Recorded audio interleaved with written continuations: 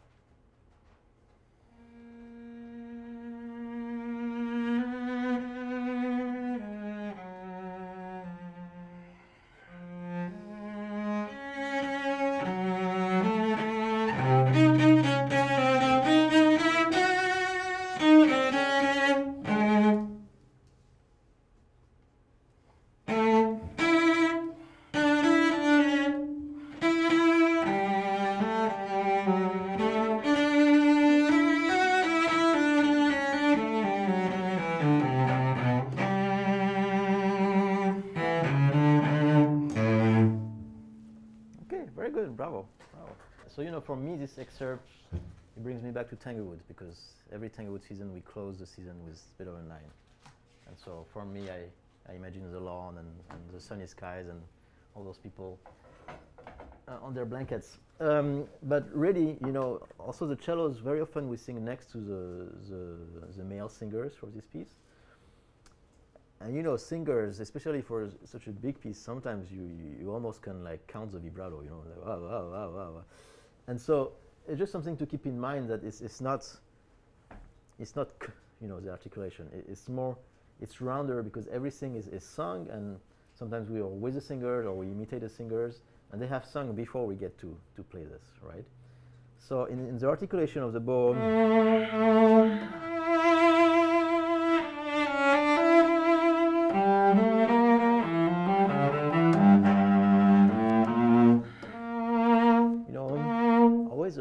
roundness to the articulation.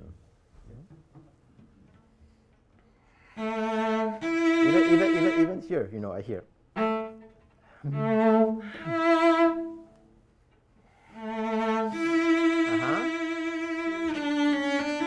Same thing here. Legato. Um, um,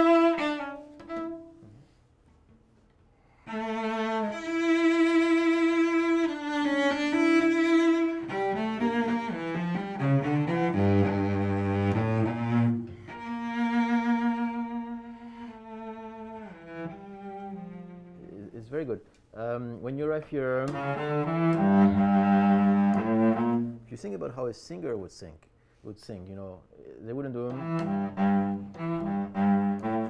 you know, search for depth instead of searching for volume. And then when you arrive at the end of that phrase, um, you can relax a bit. Um,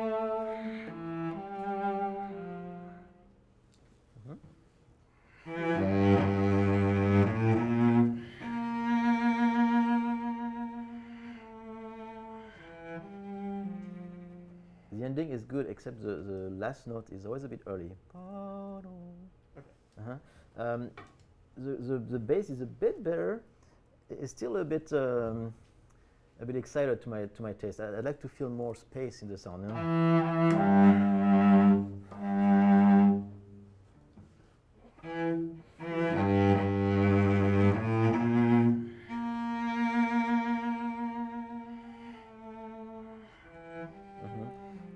not to dig too much in the string, actually. It's great that you have a, a great sound on the bass, but... Um,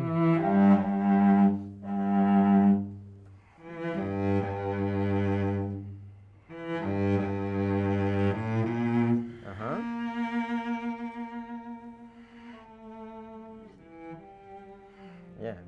Because if you're a singer and you're going all out on that note, you don't finish the phrase, right? You need your breath, okay? Afterwards?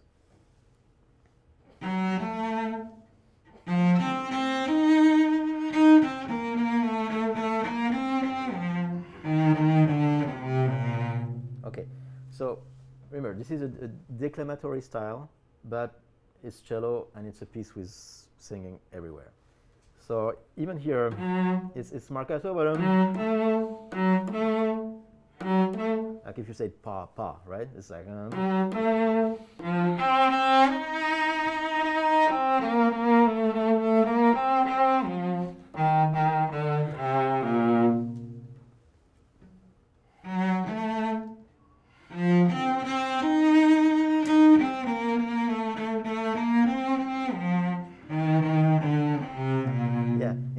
staying on the string, can you try to get off a tiny bit? So it's a bit more this. Uh huh. Uh huh.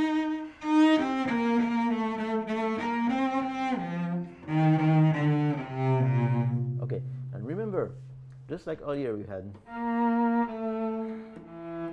first note,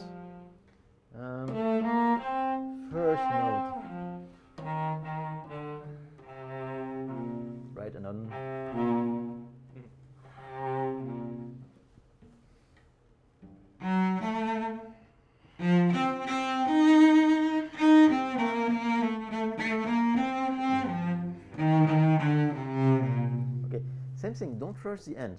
Uh, a lot of those phrases, it, it feels natural to take a bit of time to sort of close the, the phrase, right? So. um,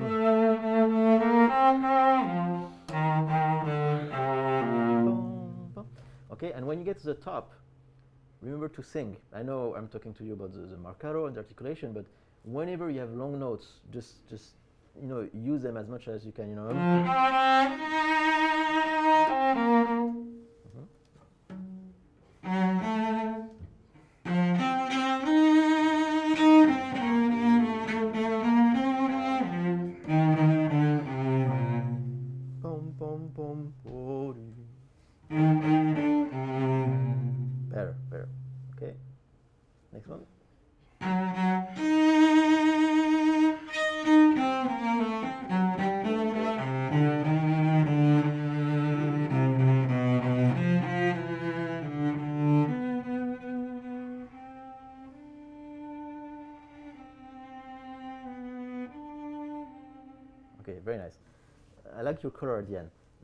End is is it's written poco adagio, right? So um,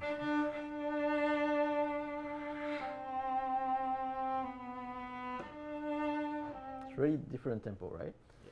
Technically, I see I see you very often. You get stuck in the in the top half of your bow, which I, I don't like being there. It's it's we have I have less control. You know, maybe some people are great there. I'm not. So I would try to get back, you know, if you can, to the frog, so you, you, it gets a bit easier. And then um, it should still be because it's singing. uh, You know, we should still need, still need to find a balance between the legato and, and the declamatory style, right? So. um,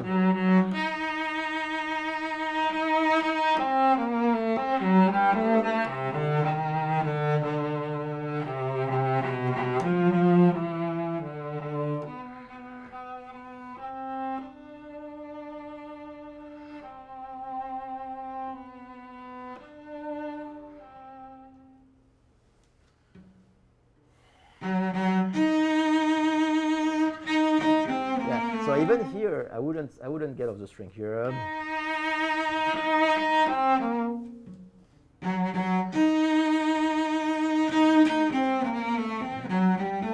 So for example here, come back to the frog. You, you stay here.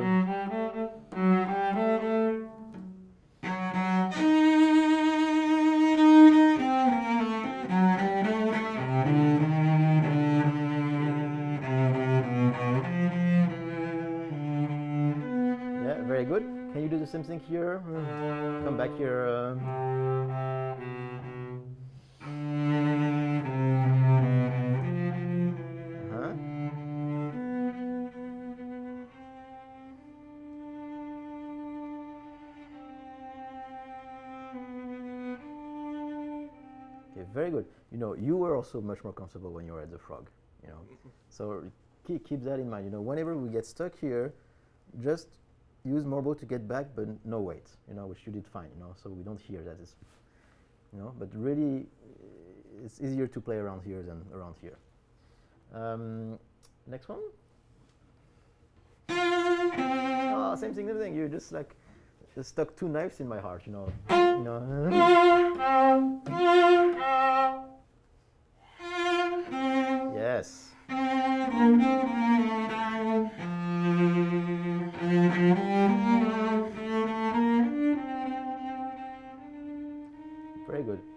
same thing here. Um, don't go off the string. Um,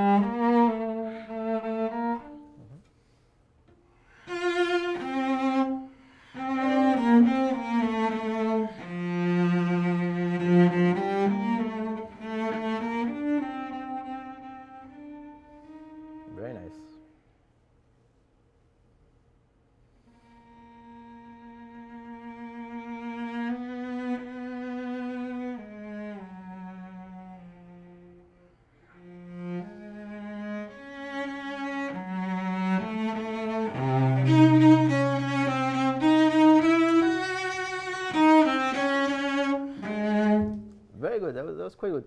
Now here, you know, um, no, they're dots, uh, but I, I think it can be a bit more marcato here because we're going into fortissimo.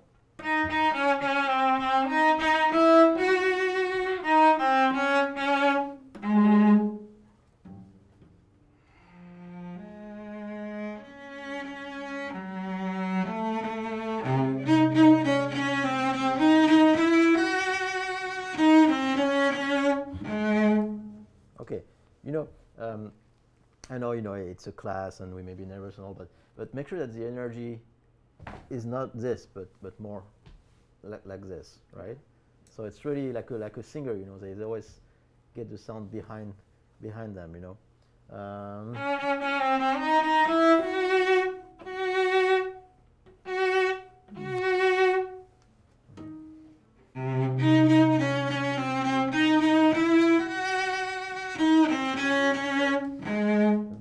and take your time.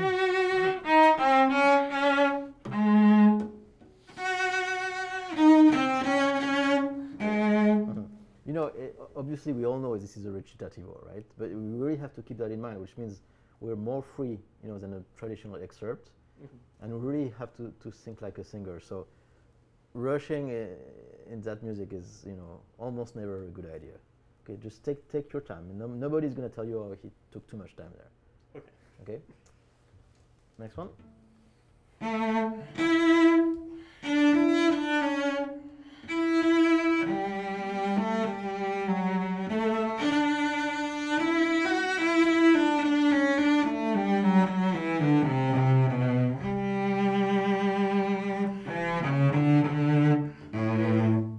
Very good. Don't forget again the appoggiaturas? Right,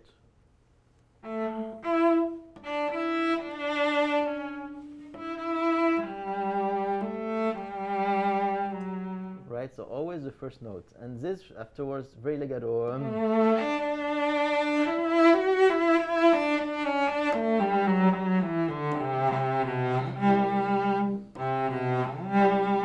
This is maybe the only, you know, cellistic moment where it's maybe a singer would not do that, but I guess we can allow cellos to do that. So really, we won't hear the richness, right, of, of the G string.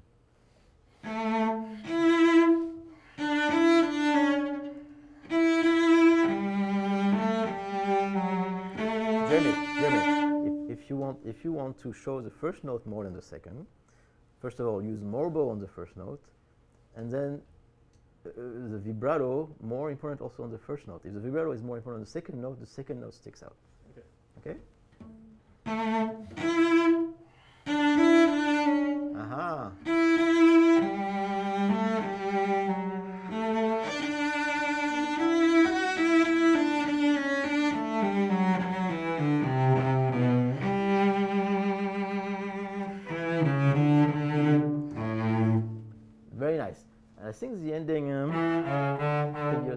Declamatory because it's the end of this whole cello section, you know, and you want everybody on the lawn to go like, wow, cellos. You know.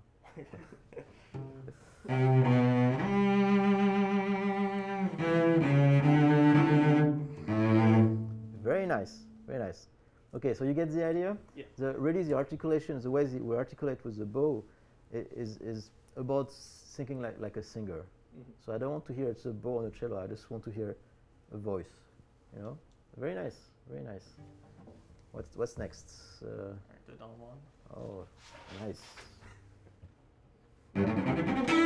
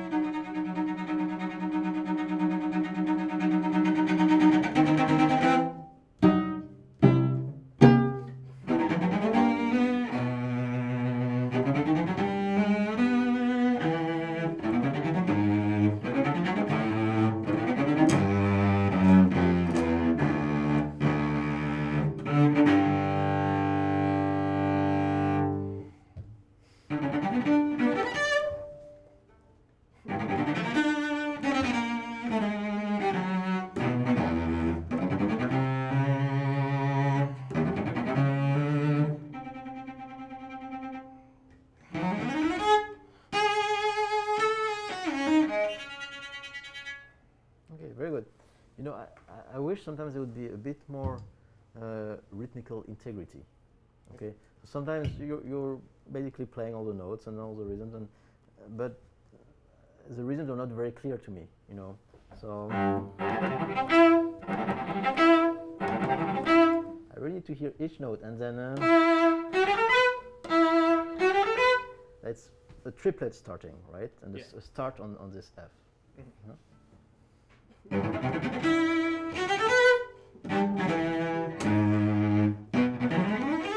Okay, I, still wish the F would be a bit more important than the B. Right now, the B is still sticking out a lot. You know, B pa pa pa pam, ya ta ta ta. That's your statement. Not Okay. ta ka ta ta, ya ka ta ta.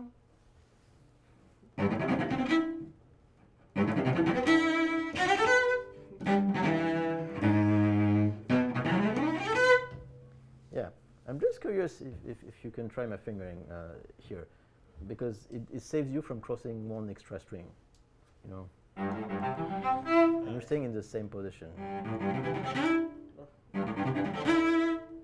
T- take your time when you shift. So the trick here, you know, is to focus on the second beat. So this way, not only it sets your rhythm, but also for the left hand, you know, you, you focus, you have maybe more pressure on that note, and then you let go. Uh-huh.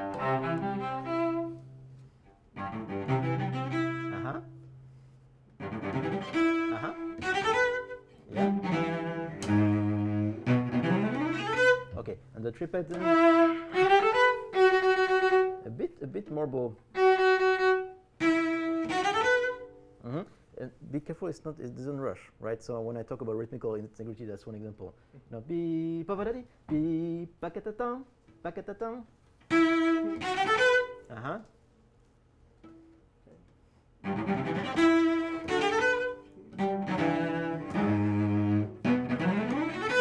Very good. So now we have an accent on the G sharp. I, I didn't hear it. No, really to him.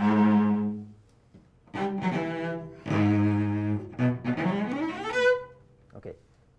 Uh, nice fingering. I did that when I got my first section position. But I want to hear the crescendo, right? So not too much, I mean nothing at the beginning, and then more at the end, right?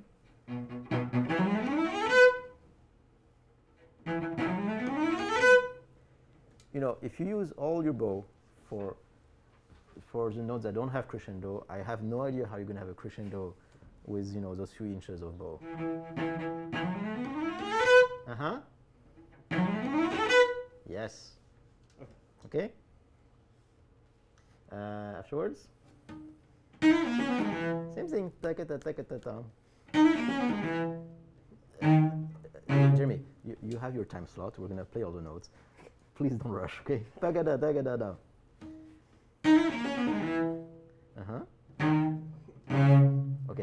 so.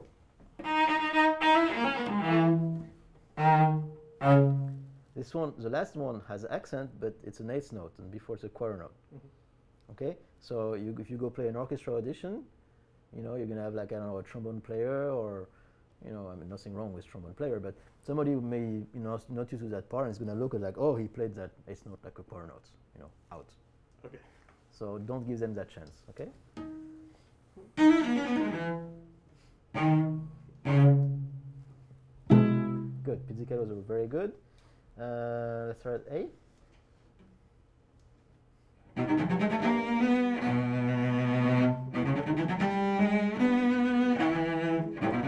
Okay, very good. Here, here's the bow stroke. I see it a bit more brushy. Not too, not too pointy.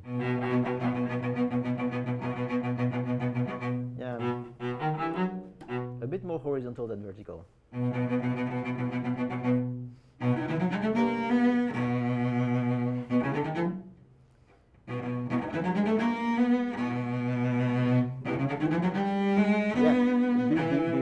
Jeremy, because all your second triplets are rushing. You know, take it, take it, take it, take it, take it, take it, because you have 99 people playing with you on stage, and so if you rush, you're gonna go home earlier, and that's not fair. Okay, so really stay in tempo. Uh-huh. Very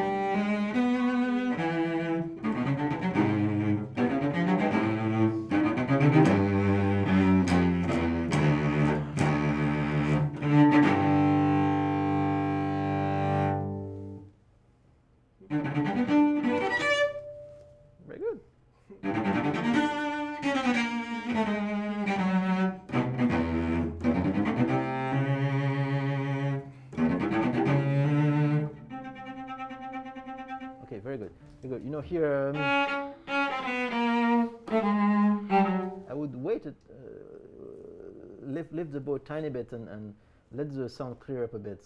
Um, so we really have a very clean accent. Okay, Okay. because if you stay legato, uh, it's, it's not as clear. Uh, then here, um,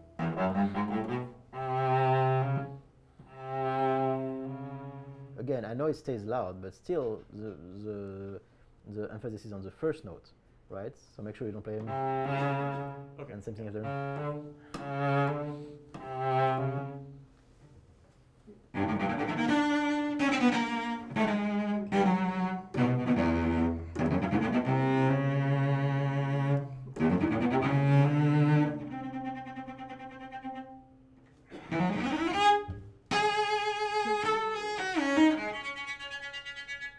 very good. Here, um, I really need to very, very clean and clear left hand, and and ideally even hear the rhythm. You know, not just full on, right? Yeah, that's better. So, um, um, you know, if you don't want and you stab here, we're done. But the piece is long, so try to avoid that. Um, on, the contrary, here you can sing. Finally, we had all those articulation stuff. Um.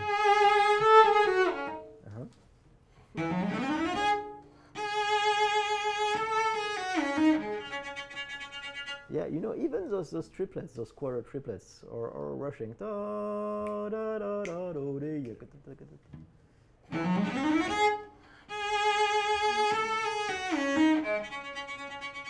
Very good. It's a very good transition to Ponticello.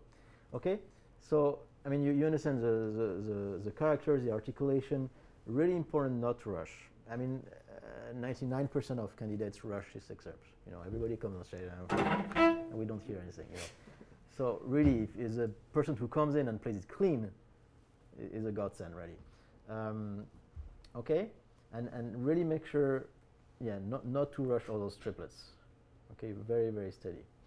You know, I've, I've sat on many committees since I'm at the BSO, and very often you have one guy who just has a pencil and he's tapping the tempo, and you know, we're not all like that, but there's always someone like that. Mhm. So once again, don't give them a chance to kick you out. All right. Okay? Bravo. Thank you.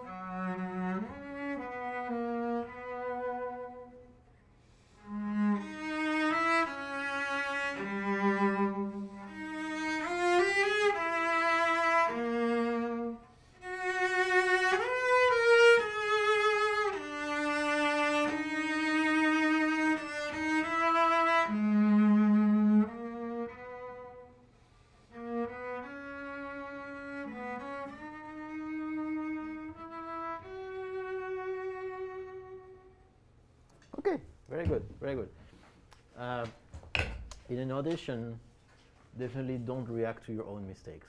Okay, didn't happen, don't show it. Yep. I learned to do that at work too. I used to also react all the time I did something wrong, and then I realized my neighbors don't hear anything, so then I stopped doing it, and they think I'm doing fine. You know, Sure. so it's a good trick to have in your bag. Um, so you know, this this we, we play with the horns actually, and so I think it's it's it's a good thing to keep in mind to to sort of play like a French horn. You know. Um,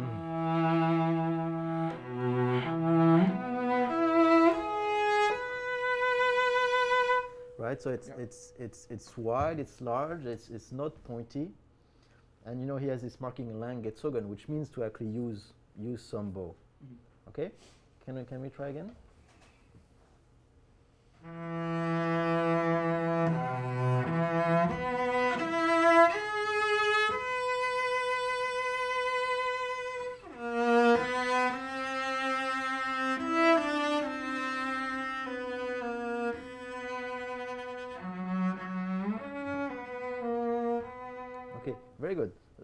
Very good, and when you get here, um, make sure the rhythm is, is very, very even. Okay. So no no rushing, no slowing down either, and especially at the end, um, you're rushing a bit here, so.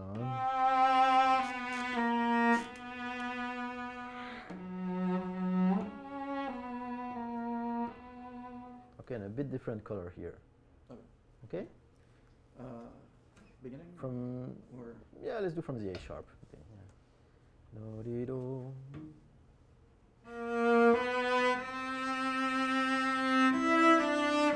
Yeah, you see, you're taking a bit of time here. um.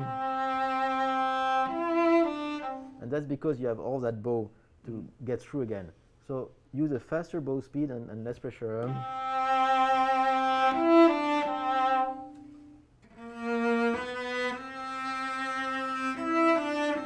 Very good.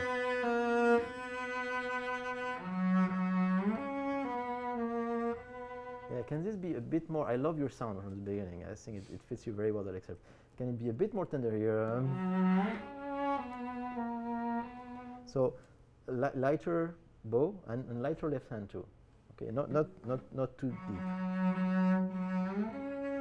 Aha, yes, thank you. okay. Uh, Mhm.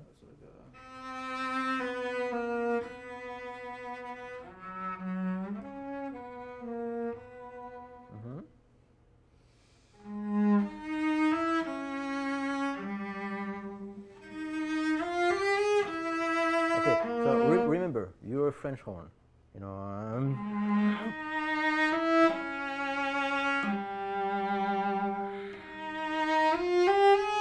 so every note, da da da da da, almost also like if it was a piano, right? Ba dee da da da.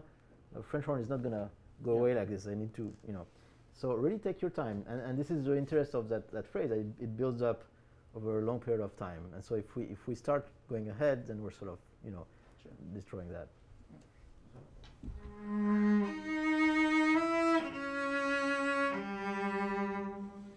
Yeah, that's good. It's good. Can you try them? Not too diminuendo here because it's poco a poco crescendo for a long time. So there's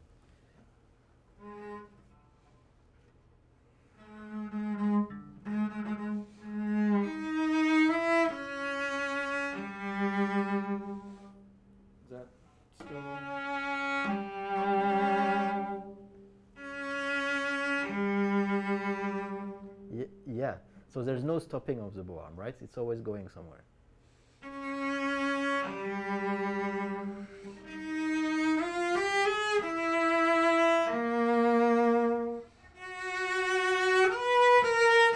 Okay, very good. Now when we get here, you know, he writes again, gezogen, you know, which means to, to use the bow arm.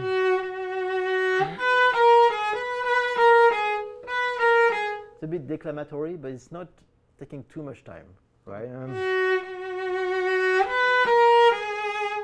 just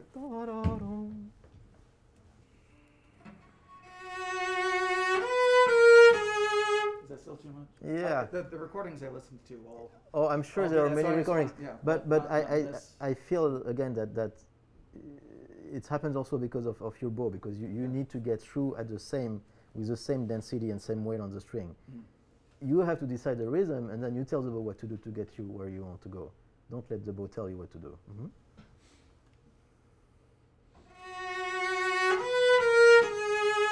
Mhm. Is that more? Do you think? It's pretty good.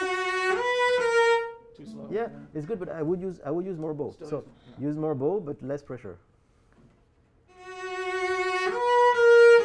Yeah. Yeah, but careful when you get off off that bar, that we have the full full beats.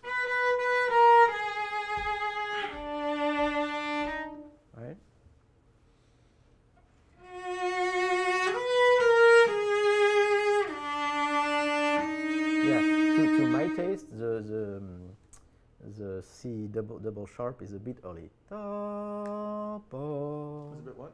A bit early. Ear- early. Early. oh, yes. Sorry, forgive my accents.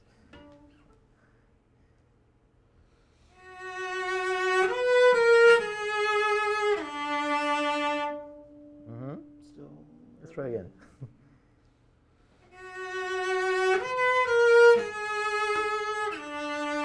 yeah, you see, even even in your in your mind and in, in your with your body, you're, you're doing this because you want to get to the next note. Mhm. Whereas I think you should feel very still.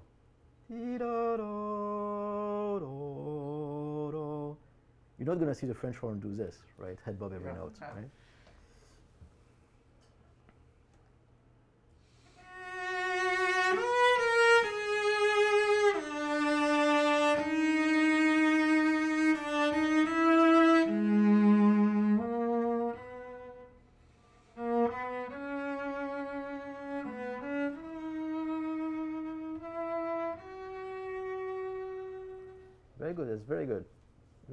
Very, very nice ending. So you, you get the feeling, right? It has to, has to feel very long.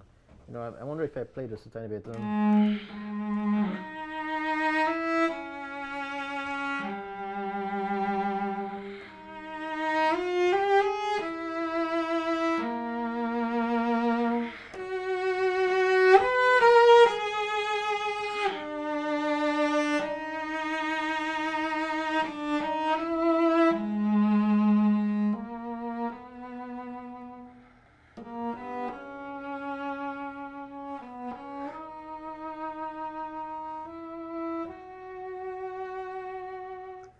right? So it's everything feels very peaceful.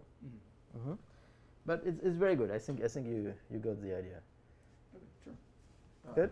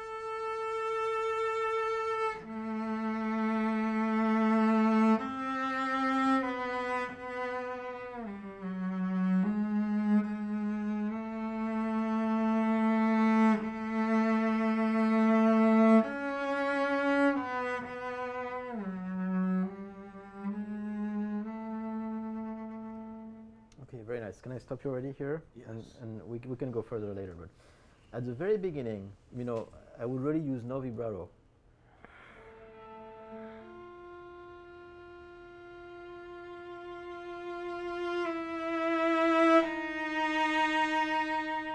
Right, so it starts really from nothing. Um,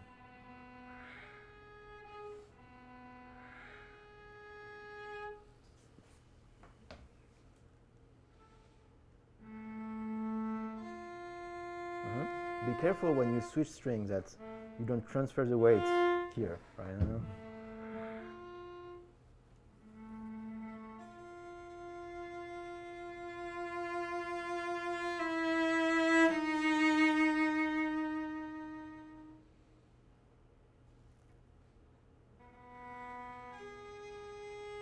Same thing here. Same thing here.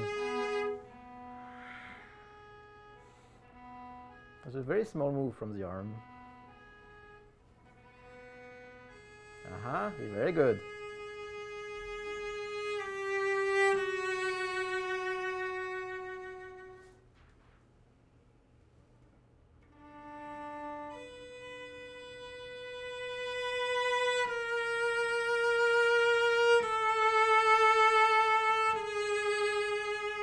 Yeah, very good. You know, on this one,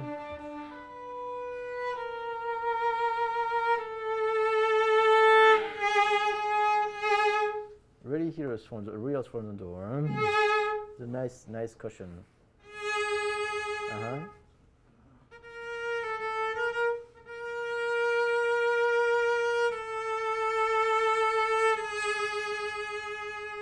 Okay, very good. Let's skip the PIDs. So afterwards, afterwards, really, I mean, as you know, we won't have a huge line, Mhm. right? So it needs to be legato for a very, very, very long time, and every note, you know, is is is declamated, but within within legato. So. Um,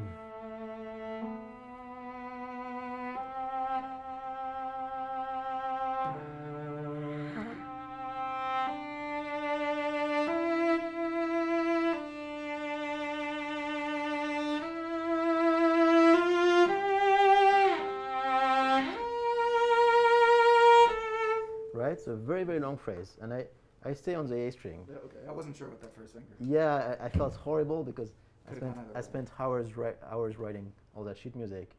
But I would have written second string if I really wanted to go If on you the really second string. wanted. Yeah, okay. yeah. So it's, uh, I mean, I'm kidding. I don't feel Sure. horrible. But, you know, I was like, I thought I, I, I proved everything. So there's no mistake possible. But um, yeah, so we can start again and really try to keep always, always going somewhere. And even here, um, try to connect. It's, it's technically impossible, Sure. but try to hide anything you can so it feels like it's the same, same, same string. You know. I'm sorry. How much vibrato starts with this one? Okay. Well, I, I, just a little bit. I, I think it's okay to have little bit of this some.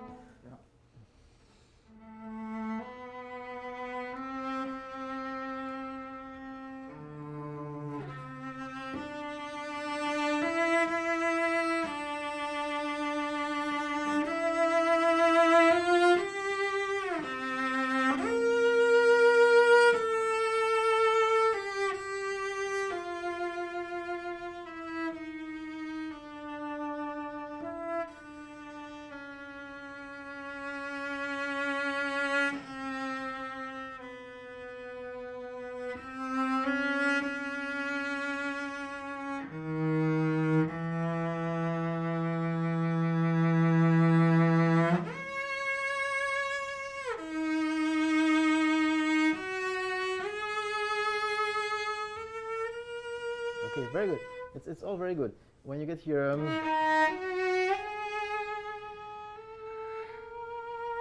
it really needs to be a, a different color. Very, very extremely tender. It, say, it says dolce actually, but uh,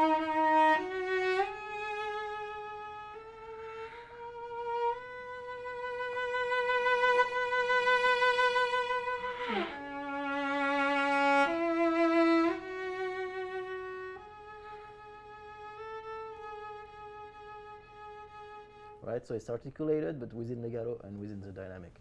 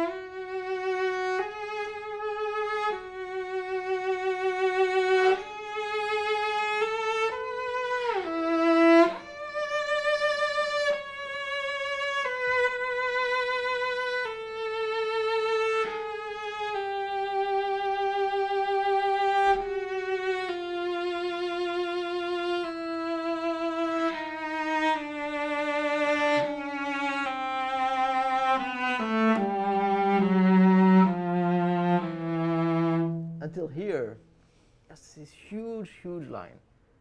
Okay, never, never letting go. Can we try again at, at A?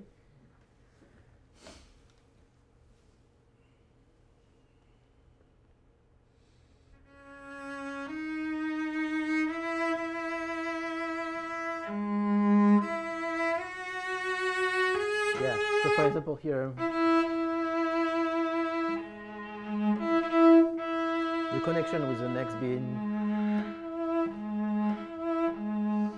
It's like you know if you have if you have um, if you imagine your fingers are clear Mhm. and there's water in them and you need to transfer the water from one finger to the next. Right? You can do a, a brusque move, uh, a brisk, brisk move. We say sudden. Ah, yes. brisk. Okay, yes. Sorry, yeah. we say brusque in French, but yes, Oh. sudden. So so um, really keep the same motion. You switch finger, but it's the same motion.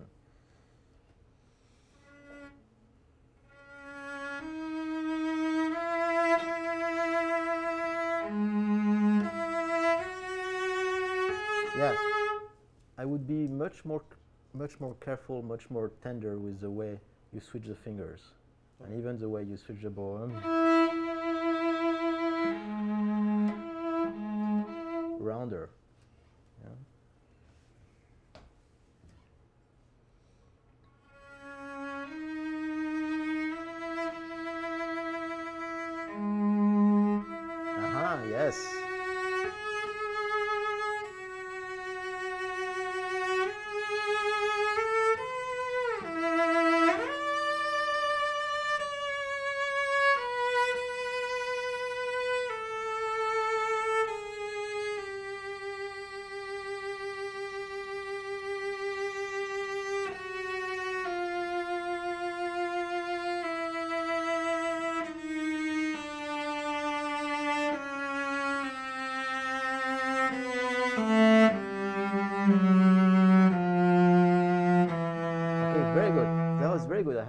I had a much longer line. Now, when you get to the towards the end, don't slow down too much, though. Okay, so. Um,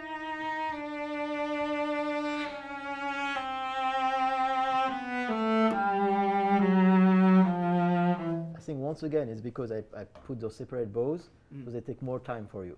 Just use a bit less pressure, a bit less weight, so it, it goes faster. You know, but the line was really excellent. Um, now let's go forward. Uh, maybe the, the next line.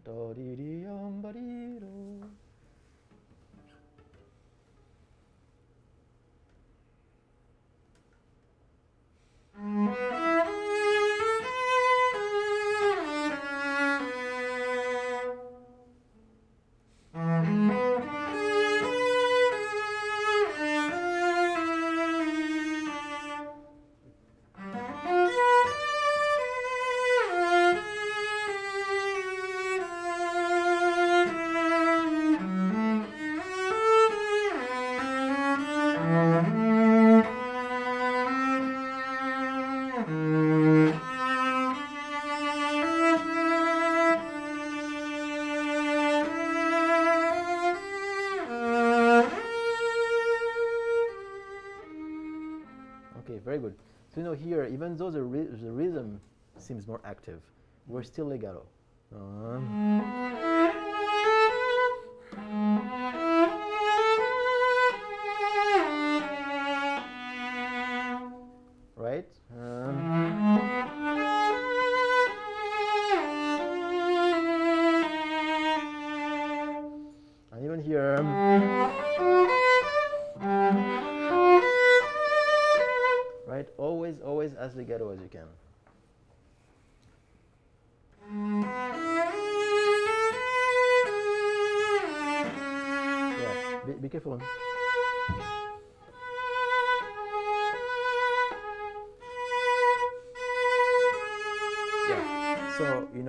Like um, it's like if you're in your car and you have to turn around the streets. And so if there's if there's no snow, yeah, maybe you can do this. But now we have snow these days, so you have to go like this. And so that's what I would do with your bow. Take the time to change the bow. Don't don't be too abrupt.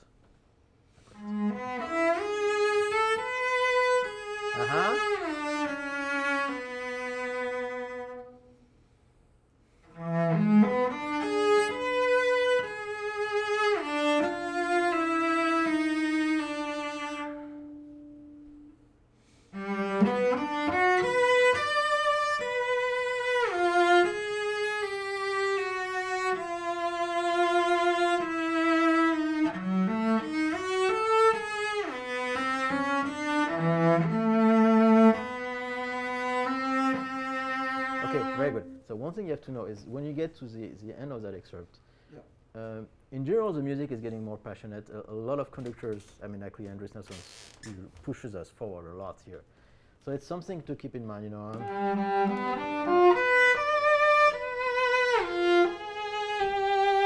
Especially when you arrive here. um,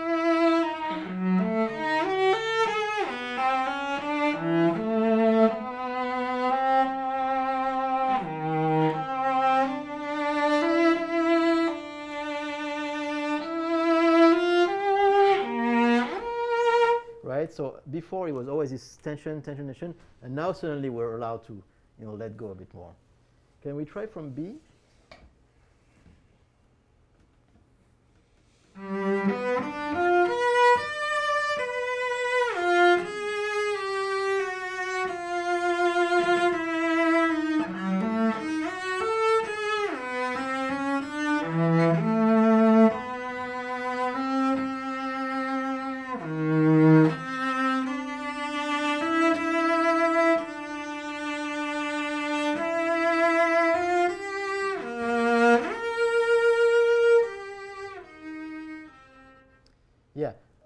Too much diminuendo, okay? Because Okay, it's yeah. still sort of part of, of the melody, so not too too shy.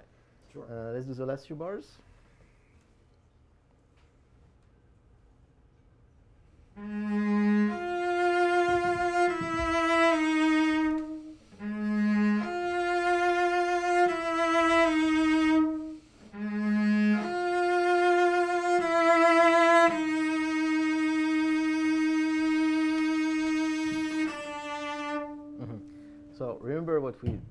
With the car. uh,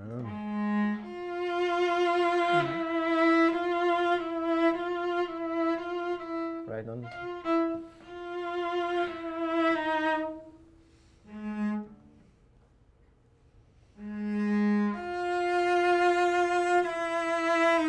Mhm. So uh, uh, let me think for a second. Um, try try to you leave the bow on the string Mm. and and but let go of a little bit of pressure before you change the bow. So um, if I exaggerate, um, right? Yeah.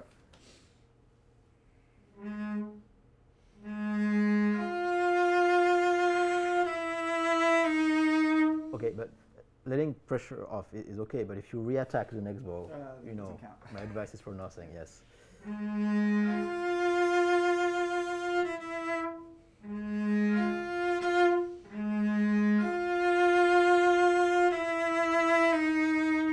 even see your stick change, you know, change mm-hmm. angle. Yeah. So something is happening here. Nothing happens.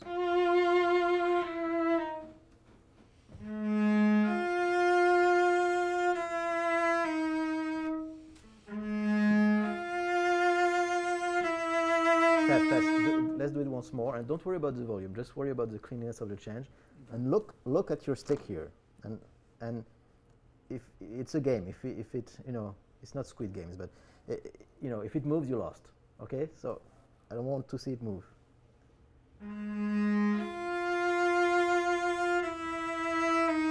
You see that little twitch you have when you change the ball?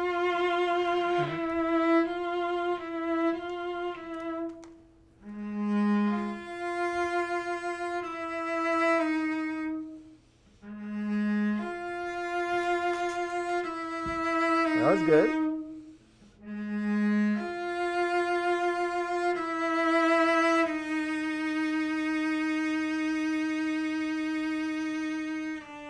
Okay, very good. It's very good. I mean, you have a very nice vibrato already, you know. So it's just a matter of you know use, using it wisely. So at the beginning, you don't need as much of it when it's pianissimo, Mhm. um, and then really to to be as legato as possible. I mean, that's the reason an excerpt like that is is, is on the list, right? It's just to see if people can play legato or not. Yeah. Okay. Sure. Yeah. Great. Bravo. Awesome. Thank you.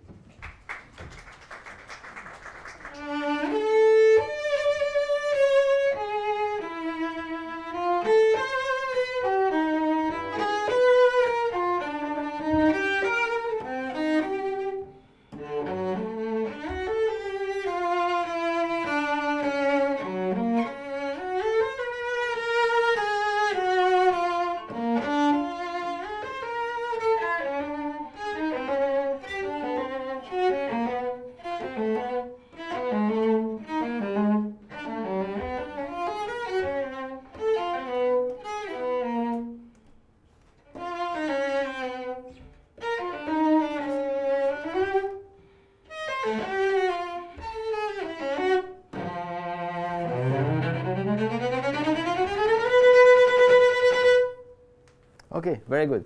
So, you know, eh, the, the whole excerpt is marcato, marcato fortissimo, uh, or I mean, forte later, but it really needs a lot of energy.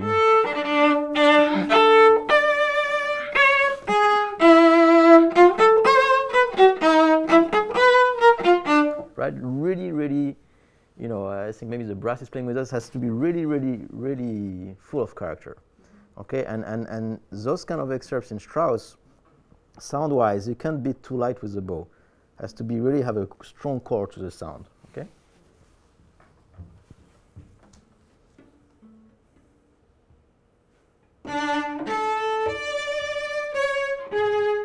Very good. I, I like the sound, and I like most of your fingerings. I still think here, uh, I think, yeah, I would still stay, you know, up on the A string. It's not, it's not too hard. And I, I, I keep going back here. Uh, but, you know, because it's really important that, that it projects. It has to project. It's, it's, the cellos have to be heard.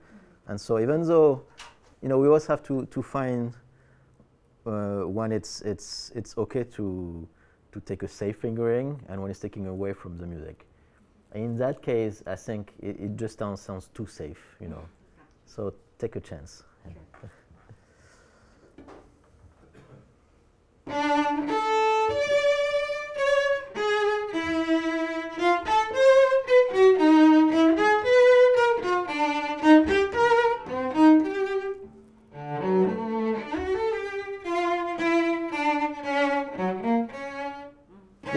very good, very good. It's very good. I, I love, you know, and, and you're nailing everything. It's, it's awesome. Yes, so when, when you get to, you know, it's still forte, right? I mean, there's a small, you know, before, but then, and even those triplets, it's not, it's very articulate, even within the slur. Okay, so the left hand, very, very articulate.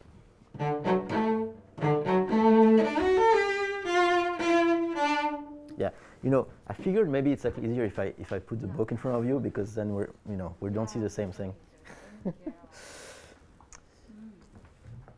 Are you using? Yeah. Yes.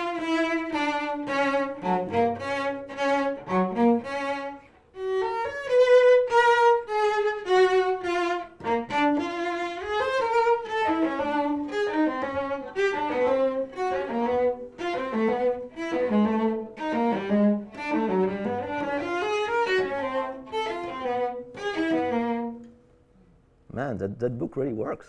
This is great. no, this is very good, and I like that now. You know, it's really staying staying marcato.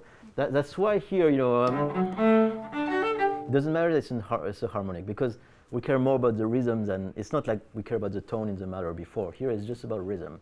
Okay? And as you see, most of my fingerings after on the third line, those are pretty safe. They stay in position, but you know they work, and it's not it's not the main a main theme here, so it's it's all right. Um, let's go maybe from from 17, the last last two lines. 17. Uh-huh. Right.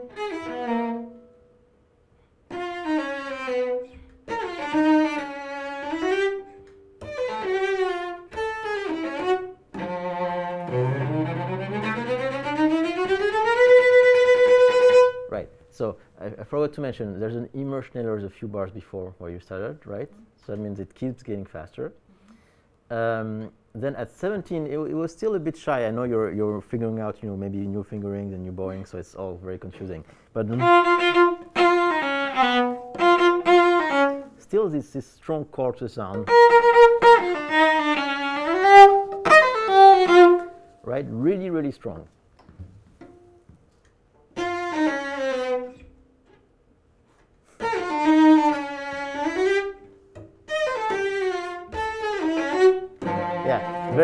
So, you know, make sure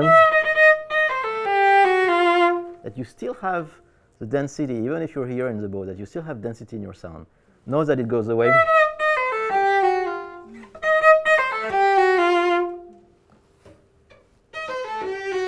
Okay, is that very good? And then earlier, um, with lots of character also. De, not polite.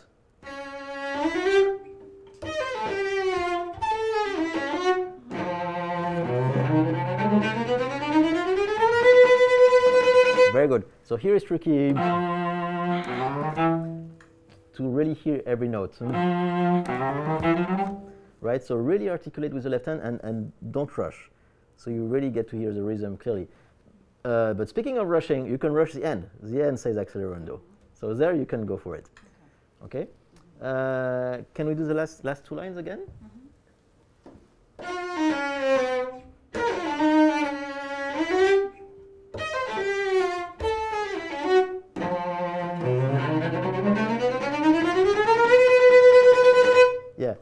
it's pretty good. I do like my fingering here um, because that really it's very easy to be clear on the same string.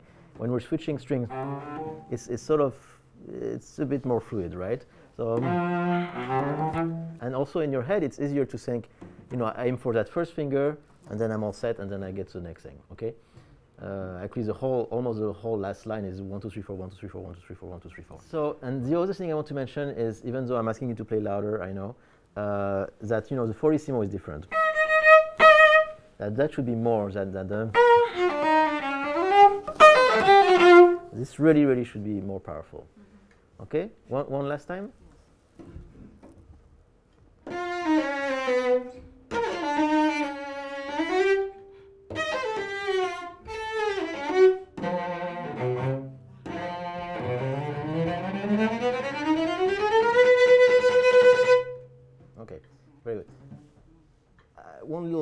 Of, technical advice, you know, how to play loud and not tire yourself and not force, is to really try to restrain yourself from using your, your forearm.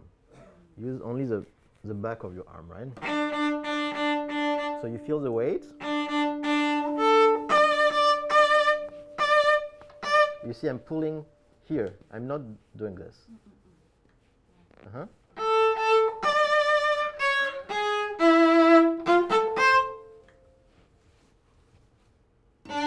Uh-huh.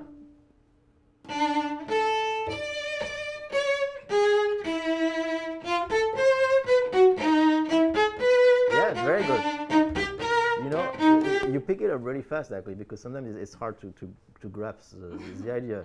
But this is this is much less tiring because you know sometimes I explain and then then then people try to force because you know they think that's how you make a big sound.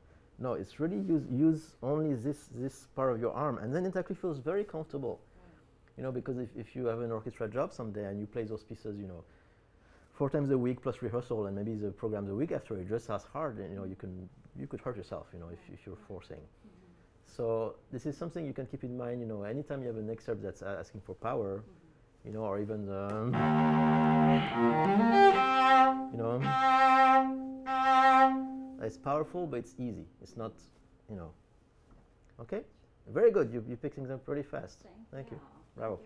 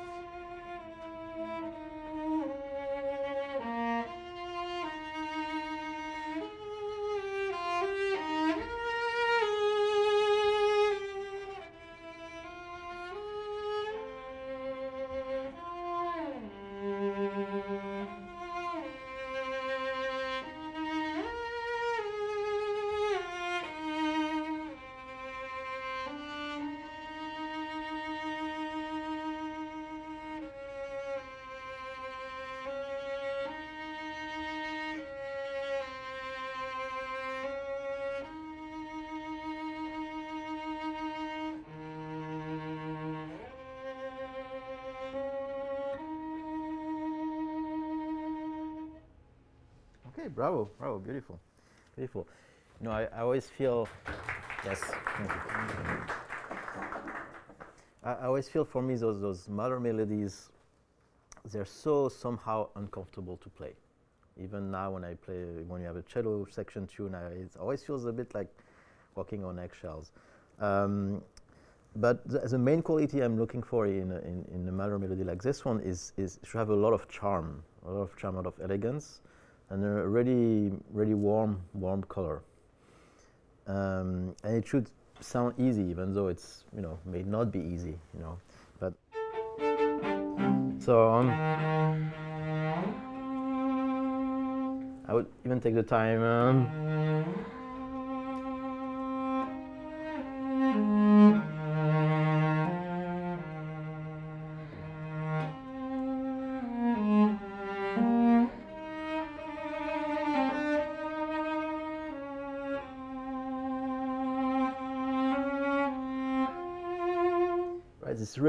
color. I probably did the reverse of my own bowings, but you know, really try to always have very legato, very legato, and, and very warm.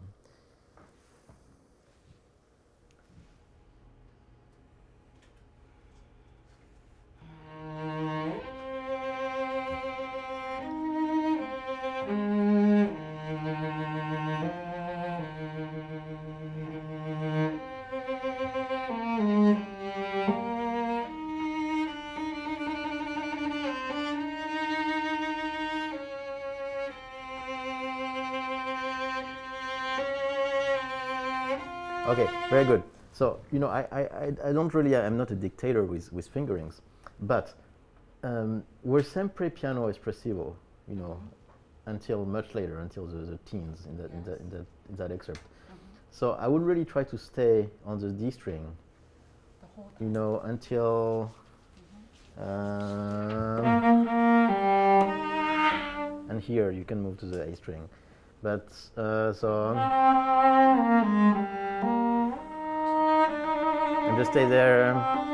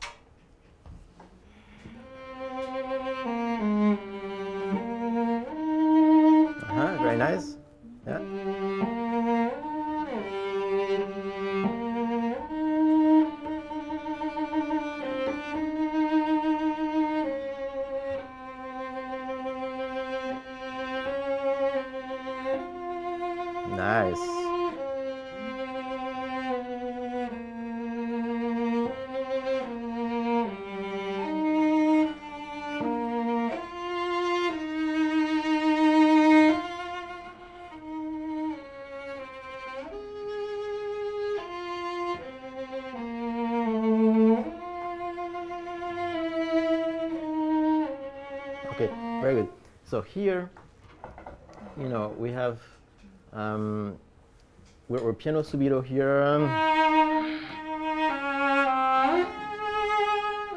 and then crescendo here.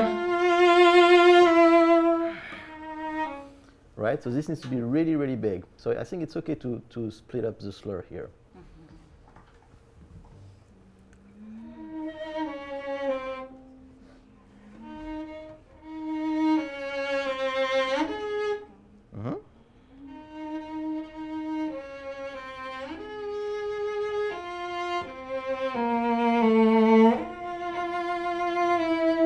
Here, because we're trying to get loud, I would stay on the A string. You know, so because you have this little caret on the on the F F flat. Okay. And another detail I want to mention in, in, in Mahler, you know, just like we did, you know, and took time also here. you know, take your time for the shift. It's part of the charm, really. That's that's very unique to Mahler. Mhm.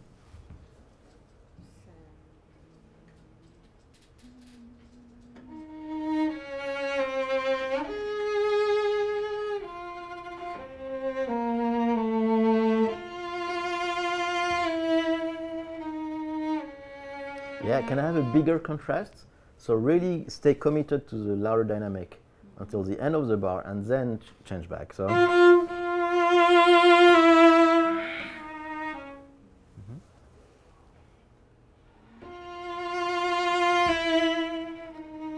Don't don't don't let go of, of your arm at the end. um. stay stay with the same same um, same density on, on the bow stick than, than before. Okay, don't if you let go of the arm, you lose sound. Mhm. Uh huh. Much better.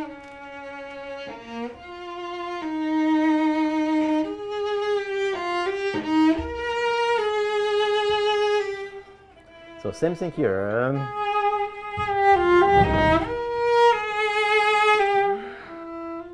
Has to be a very abrupt change. Every time we have an abrupt change, it's it's more convincing if we make sure we almost overdo before the crescendo. You know, so we have the contrast. Okay. It's like uh, Instagram. You know, you have the contrast option. In- Instagram, you know, yeah. So the, the same same thing here. You know, if you want to really have the contrast, more more contrast.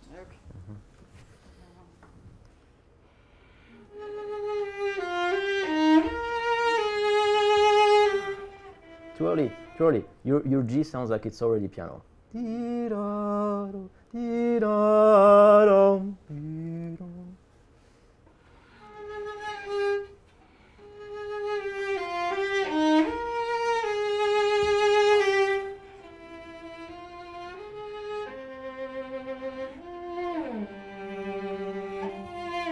Okay, very good. So here he, he, he even writes the glissando, so we know we have to take time in those shifts. You know, so um,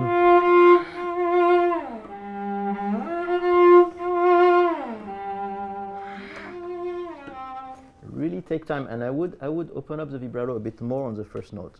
Right, so it's not the same vibrato.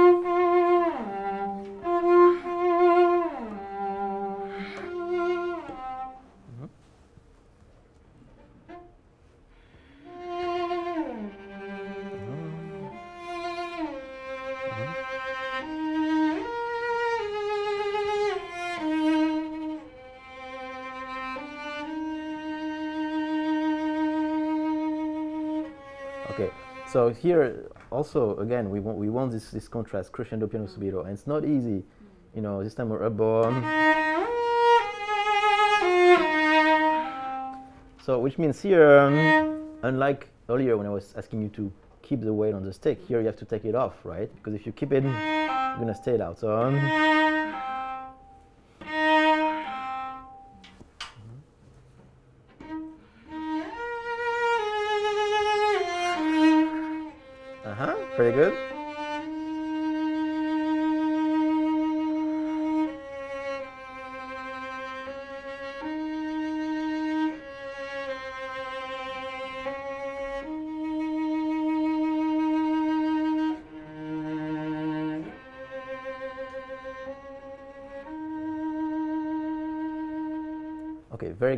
So now I, I'd love to hear it one more time now that- that we went a bit through the through the kinks of the excerpt, and really a bit more with the the feeling of being in three. You know.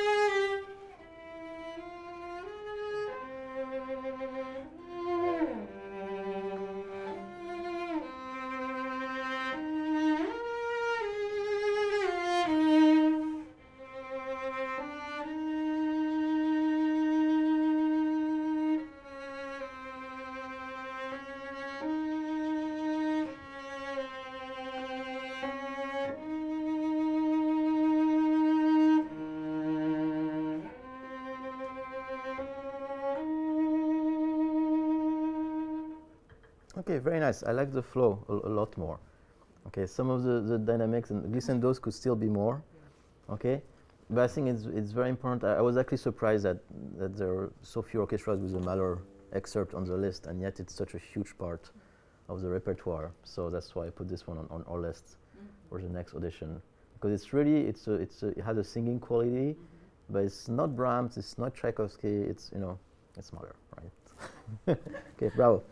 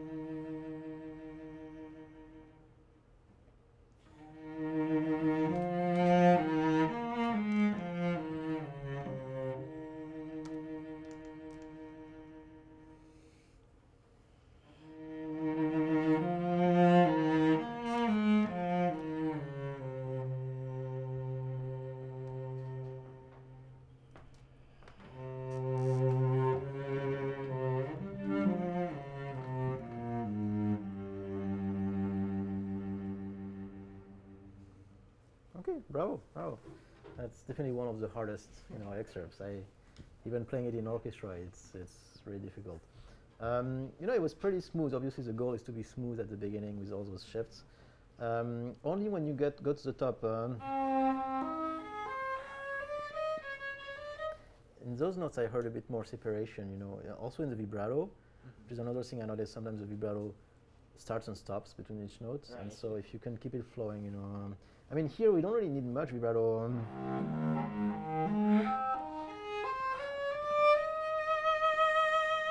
and here I would stay in one bow. um,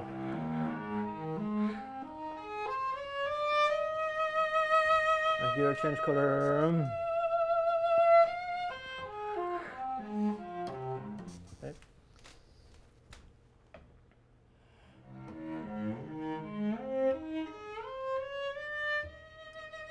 Pretty good, but I guess I have a pretty good fingering because you know I still hear.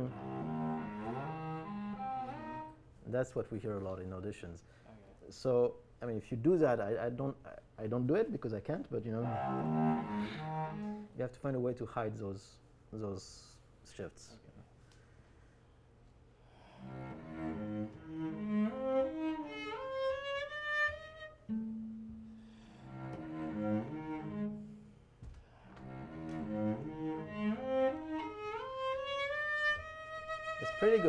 Just out of curiosity, can you, you can you try my fingering? Yeah.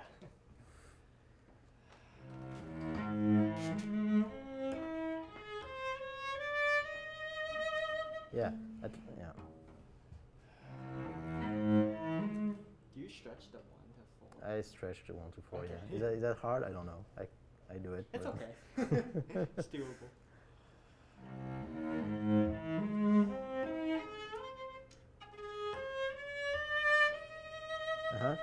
Pretty good. I think I think you'll you'll get the hang of it. I mean, the, the the thinking behind it is you know you have one position, then another one, and then a third one. Most fingerings people do have like five changes, six changes, Mm-hmm. which is make, makes life really complicated. You know.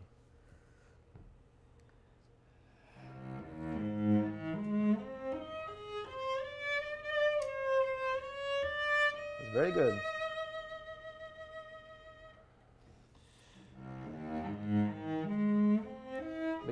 Here, I think maybe there's something in the bow here. Really one motion, right? Know, I see a bit your hand at each bow string change. It's doing a little thing like this. Nothing, just like a pendulum.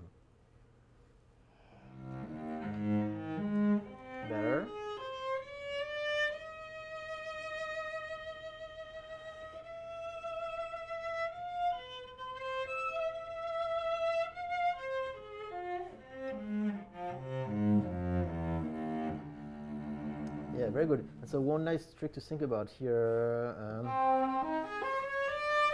is to really sing out that top note. So E flat, and then so it's soft here. So it's different color on the E natural. E natural.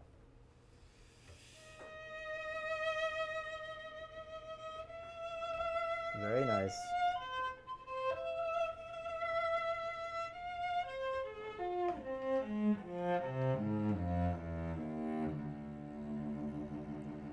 That note, you're doing fine at least with the dynamics because a lot of people are tempted to play loud when they get here.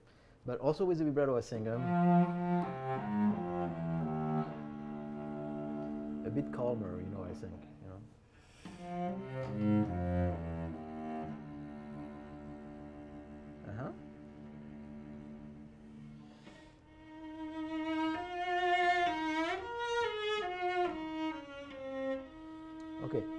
So here I really like the idea of, of shifting, of, of slurring and shifting, you know, from the, the upbeat, you know. Um,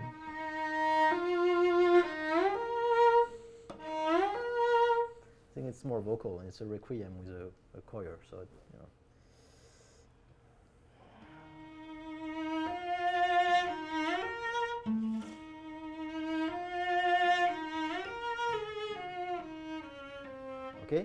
Thing is that you know we have this, this caret with this accent on the F, um,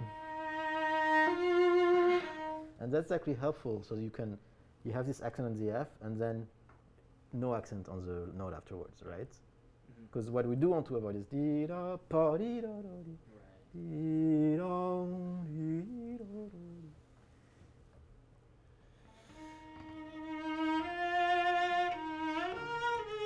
can I get a bit more bow speed? Um,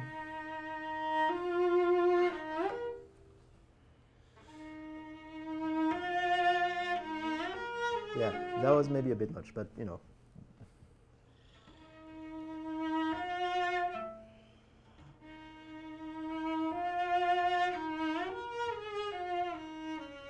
Yeah, so even here in the vibrato, I exaggerate, but. Hmm.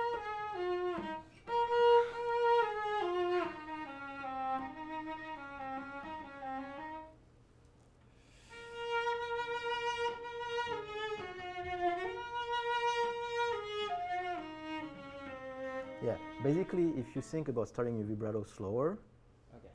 it will it will be easier to be seamless. If if we start a vibrato fast, then we have to stay fast all the time if we want it to to not show up, right?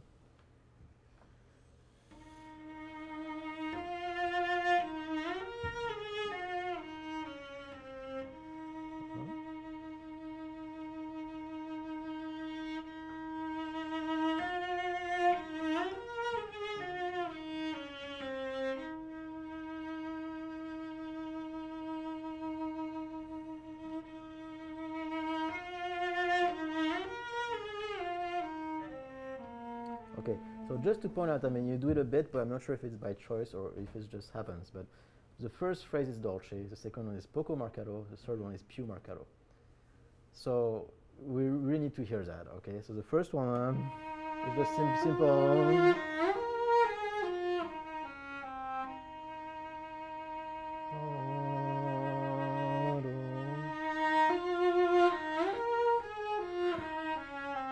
Just a tiny bit marcato. And then last one more.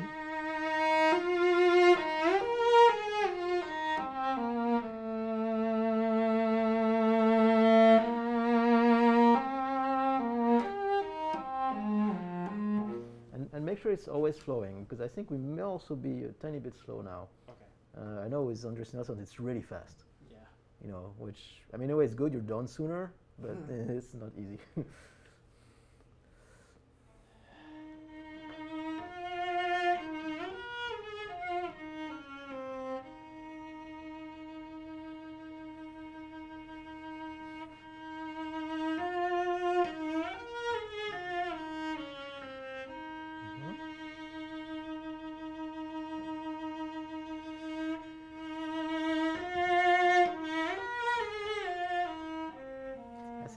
can do more marcato with the, with the bow.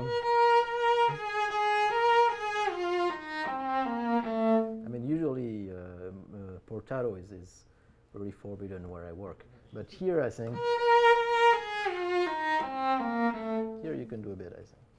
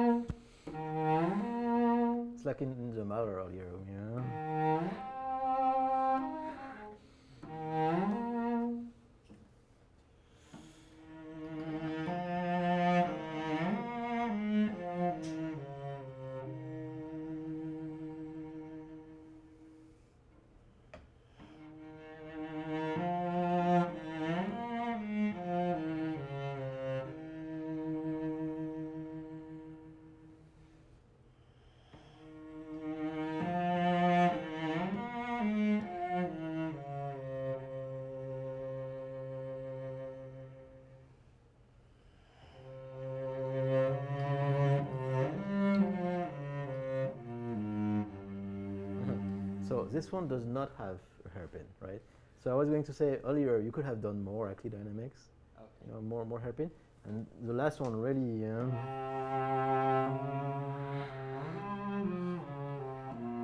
soft all the way, no no crescendo.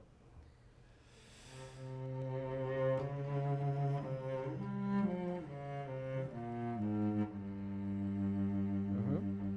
good. Y- Your bow is stopping a, a tiny bit.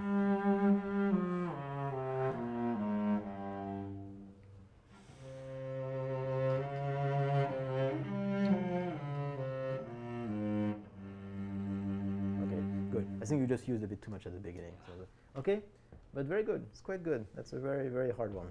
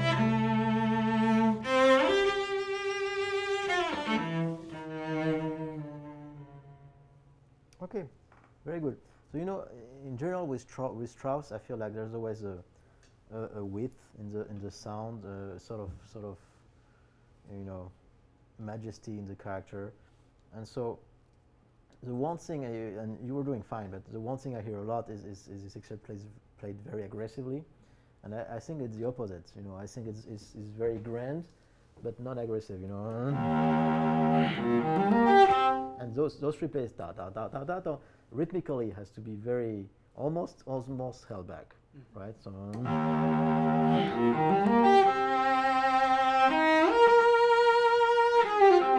and every time we have and we're changing bow, let's try not to show it, Okay. right? Um,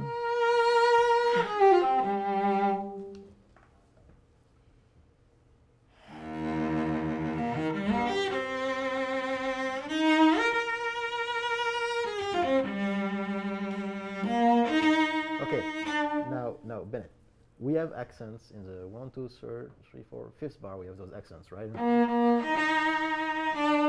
But if before we play,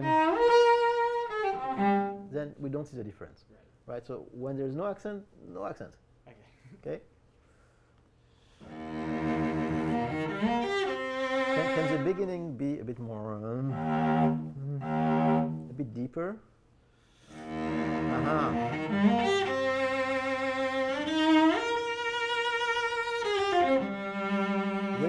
be careful. I know we, we maybe we, we may put more weight on the on the B, but if we keep it on the string, the next A is going to be accented. So I, I sort of you know I lift the weight here. So I have my my B flat, and then I lift.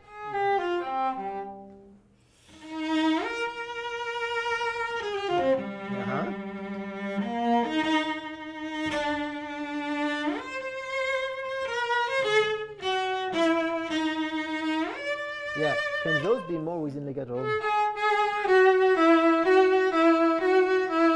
Just stay, stay on the string.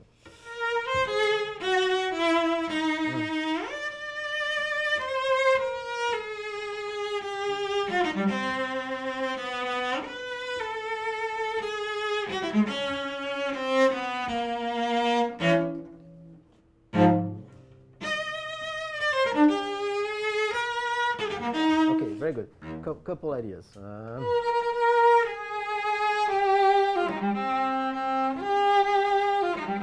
I wouldn't try to get off the string. Just stay on the string. You know, use very little bow. And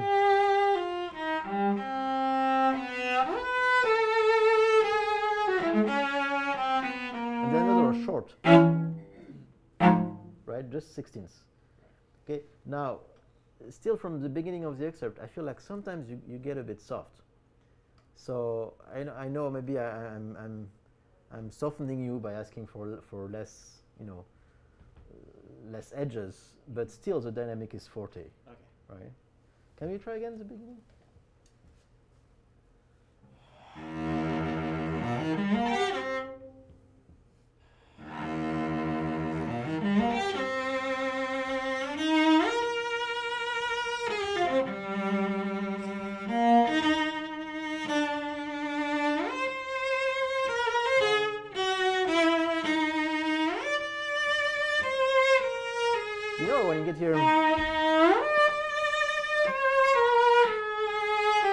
sing out.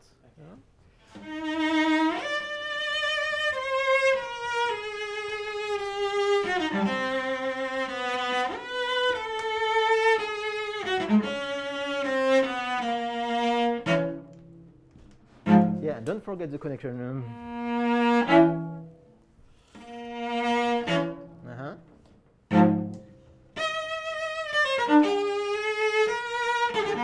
Yeah, you know, here I'm pretty sure. I will stay. Huh?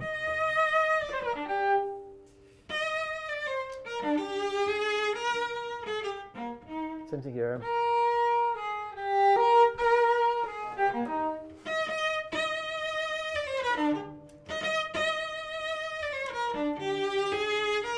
Right, which means when we have those small notes, it's a small motion when we're at the tip.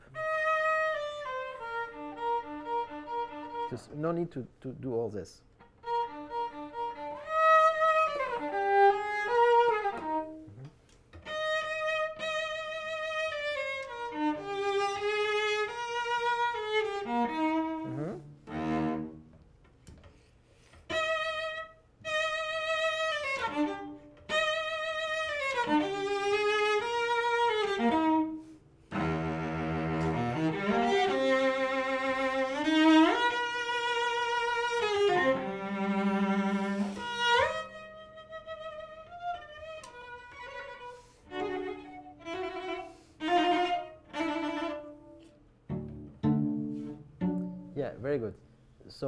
Just, uh, I think maybe you did it, but you know, that, that fingering and that 19, I'm just pointing it out for people, you know, looking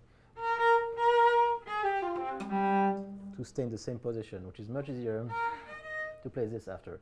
Because I find that going back and then going back up again is really abrupt. Uh, now when we have the trills,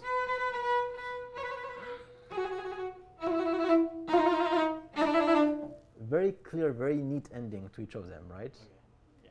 And then the pizzicatos are forte. Mhm.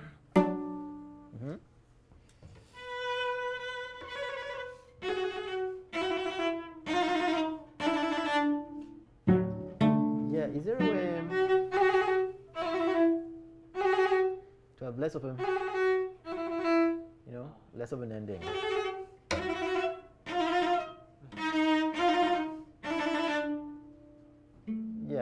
Maybe get off the string a bit faster. Okay.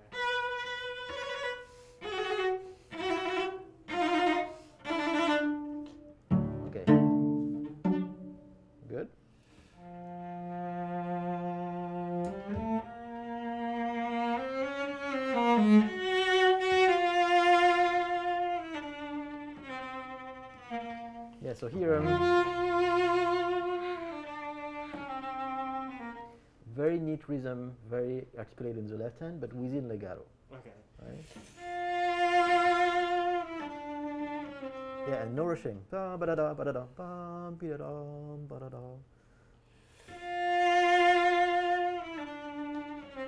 They're still rushing. All those 16ths want to go home.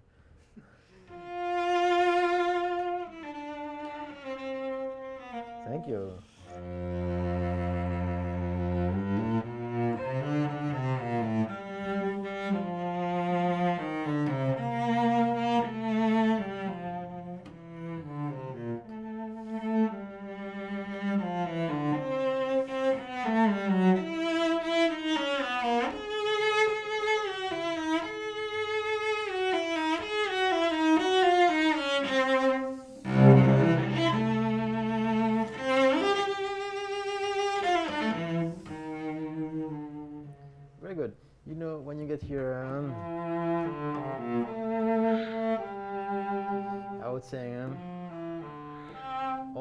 First notes of the bar as sort of like goalposts, you know, on your way to the top.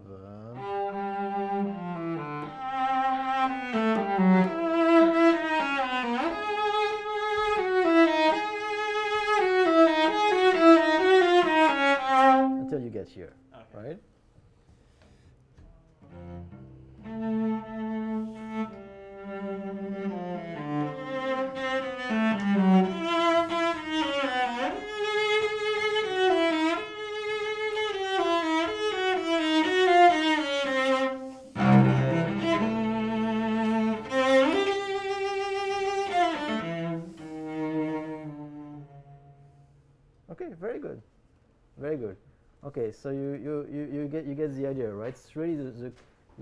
The character is actually very steady. It's not it's not frantic or it's it's technically hard, but it has to just sing. So whenever you have long notes, just sing them out. Okay, very good. Bravo. Thank you.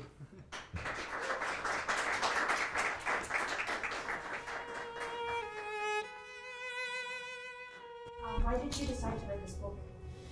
So um, originally, this book it sort of started as a joke. Like some colleague at work said, you know, as soon as I got the principal position, oh, now you can write a book on excerpts, and I was like, oh yeah, right. Uh, um, you know, and and I, don't really claim to be a, an orchestral excerpt, you know, expert. Um, but then I think when the pandemic happened, uh, I was in France. I was not working at BSO. I was like, I have all this time. I felt there's actually a need, uh, a need for you know, a book like this that concentrate all the information, not just uh, how to play the excerpts, which a lot of the old books didn't do. They just gave you the bowings and fingerings, and then here you go, figure it out yourself. So I want to give some more tips on, on that front, and then also I felt a lot of, of, of, of young cellists are not necessarily preparing the event of the audition. Uh, so they practice the music a lot, and then they arrive at the audition, and, and, and they're a bit frazzled because they didn't prepare that part. And so I really want, you know, because a lot of them are so talented to, to arrive at the audition, you know, being more ready, you know, uh, to, to experience that event. Because if you think about sports people, you know, no swimmer is going to arrive at the swimming pool having never swam or never done a competition, you know. So you're not going to arrive at the Olympics not having done all those meets before, you know. And so I, I think, I, I wish, you know, there was a stronger approach on that front. Even in music school and conservatories, you know, I know at, at Juilliard there's a um, performance psychology uh, faculty, and I, I, think every school should have that because we're, we're performers, and I feel like that's something I learned almost after I had joined BSO. I had to figure out, you know, how to be on stage and how to enjoy it and all that stuff. So I'm really hoping, you know, I, I don't have a hundred pages of text, but I'm hoping, you know, the 20, 30 pages I, I, I throw at you with all those concepts can just, you know, raise some questions that maybe you find interesting to, to improve on that front when you play an audition, uh, nerves come into play a lot, and I, I, think one thing people struggle with is being in a different acoustic, say Symphony Hall or Avery Fisher or something like that. Do you have any advice for cellists auditioning when they get to that hall and they sound differently than you know maybe in their practice room?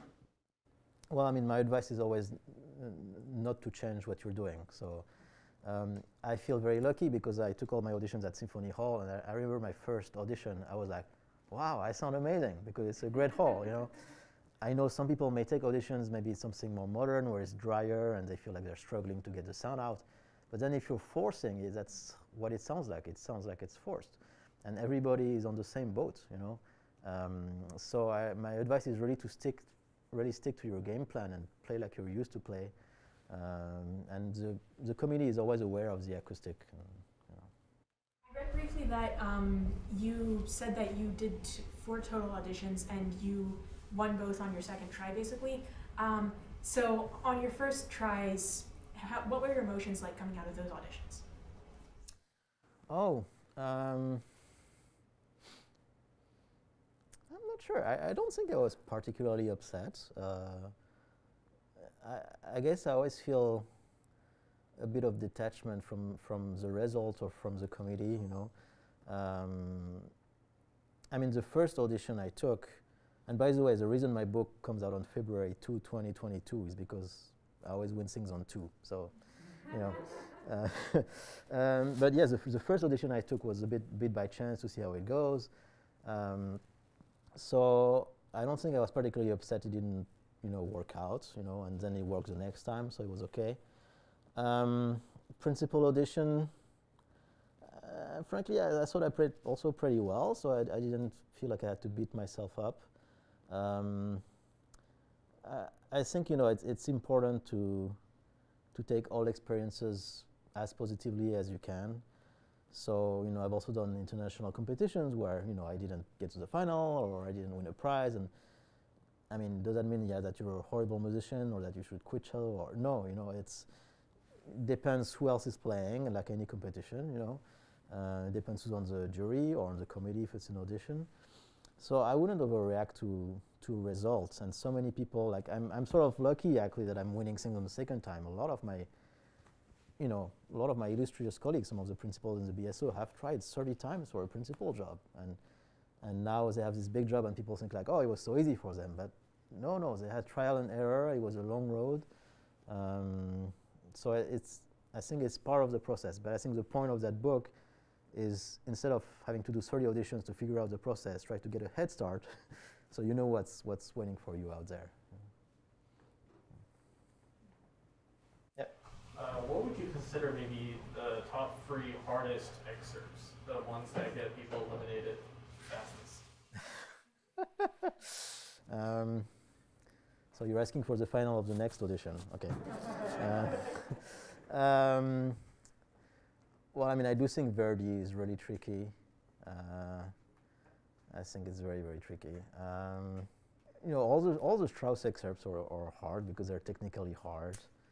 Um, but there's not necessarily one thing that everybody struggles with. It's everybody has their strengths and weaknesses, and so I guess you know very often you know somebody tells me like, oh, I, of course I didn't get it because I missed that note, you know, and it's never the reason, never. Like I miss notes in all my auditions, and they still hired me. Um, so it's usually a question of style or something like that. So maybe like you're gonna nail all the Strauss excerpts, and then you come to to Debussy and you can play it like it's French music, you know. So it's hard to really pinpoint what's what's hardest, but probably Verdi is the top on my top of my own list. Yeah, says. So when you say you missed notes, could you be more specific? did you like play a little sharp, or did you just totally miss it? I don't remember the details. I remember my first audition. There was a note. It was probably Don Juan that I played too short, and so Jules behind the screen was like, "Can you please play the A longer?" And so I played longer. Um, you know, I don't know if it's something I missed in practice or it was a, a brain fart on the day. Um, but you know, things happen, and it's not. You know, for example, you know, you, you, you play you play Don Juan, and, and you know, and you miss the top note. It doesn't mean someone is going to cross your name because you miss that note, but but if you played all the rest with character, with good tone, with style, with beautiful sound, you know, of, of, of course, I mean, we're, we're all human beings. We've been auditionists too. We haven't been perfect, you know, most of us. Um, so the, the committee is actually pretty understanding. Um, but I can't remember the details of what I missed. That's one thing you learn with time also is to let go of the mistakes. So. yeah. Uh, for each of your auditions, um, when it came time to warm up right before, did you have a certain way of going about that each time that you had in mind, or, or what your advice would be on handling that last warm up? Um, I feel like warming up. I, I need maybe 20 minutes. Um, I mean, I you know I wouldn't give you advice from my first auditions because I was so young and sort of unconscious. I just played and fun cello audition. You know, um, what I learned through through my time at the BSO and through my auditions, and by the time I took you know the, the audition that landed me the principal job is when I arrived for that audition day, I, I felt like the job was done. You know, I, it almost felt like I had nothing else to do. I had prepared you know, I'd, I'd, done everything I could. I knew there was no way I was taking that audition ever again. Twice was enough. So I came, I was relaxed. I just tried to save my energy for the playing rounds um, and then relax in between the rounds. Uh, but I was, I, was, I was sort of already at peace with the result, whatever, whatever happens, you know. I was actually more ready to lose than to win, you know, frankly. So, yeah, whatever winning means, but yep. Before auditions, uh, how else did you prepare? Mock auditions? Did you colleagues? Did you just, did you record yourself? How much? Did you video record yourself? But yeah, I record myself a lot, and I, I, I believe the recording process is, is a lot like an audition, because you know you have your machine and then you press record and then you have to deliver, you know. And for me, I think I did that a lot. I had, I probably still have on my phone like hundreds of, of you know voice memos or practice tapes, and and then you listen again and you see maybe there was something you thought you were doing that doesn't come across, and then you can do it again and correct it. And actually, I have a lot of, of friends who have like really you know high-tech recording devices, and I actually believe it's better to do it with your iPhone because if it doesn't come across the iPhone, maybe it won't come across in the audition, you know.